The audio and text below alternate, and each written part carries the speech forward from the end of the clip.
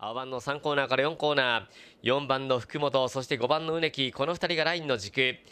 植木ラインの3番手を主張したのは2番車の引田。6番の本村は短期となっています。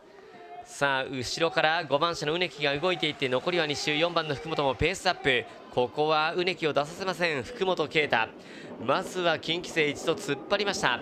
6番の本村に切り替えはありません。4番手追走。5番の植木。植木ラインの3番手は引田です。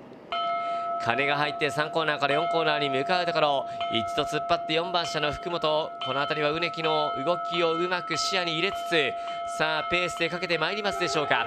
追走が藤田4番手から飛び出してきたのは5番車の植木。一気のスパート2番の引田は離れました。残りは1周回気づいて4番の福本も前で合わせていってさあここは力比べもがき合いとなってくる。4番車の福本にアウトコースが5番の植木。さあここは両者がっぷり四つ。眼光状態どちらも譲りません。最終バックを通過いたしましてさあ内4番の福本が一でしのぎきるか4コーナーを回ってくる。さあ車群を縫って2番の人も伸びてくるか外からは3番の山本健也に1番の山崎。